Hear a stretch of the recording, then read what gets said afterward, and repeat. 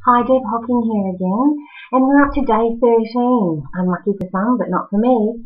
Um, and today's card is really interesting yet again. Um, there is no blame. It's really interesting because how many times have you heard or have you said yourself, oh, it's so, it's not fair, it's not my fault. Who can I blame for things not going well or as well as I'd like them to? Well, you know what? You can't blame anyone. It's all down to you, baby.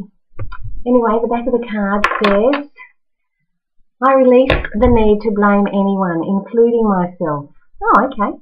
We're all doing the best we can with understanding, knowledge, and awareness we have.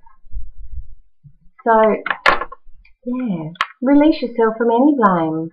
Hmm, I think that's what it's saying.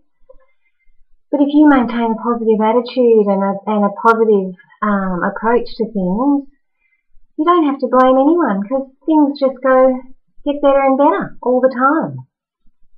Take it from me, I'm living it. Anyway, until tomorrow, have a fantastic day and I'll see you then. Bye.